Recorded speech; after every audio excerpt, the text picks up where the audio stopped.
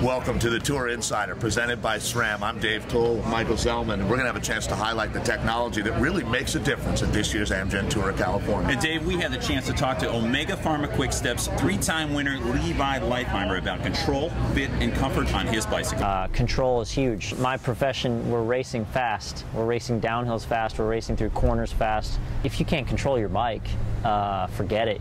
I always felt like I kind of had to hang my thumb on the bar to, to get out there to reach the brake lever to brake, and that is dangerous and not very secure. So, uh, the Zipp handlebars that I use are the super short, shallow bar, and I've always wanted a bar like this, but with the reach adjust on the, the SRAM red lever, you can bring it in as far as you'd like, and, and that way I can maintain a better grip on the handlebar while braking, which makes it safer.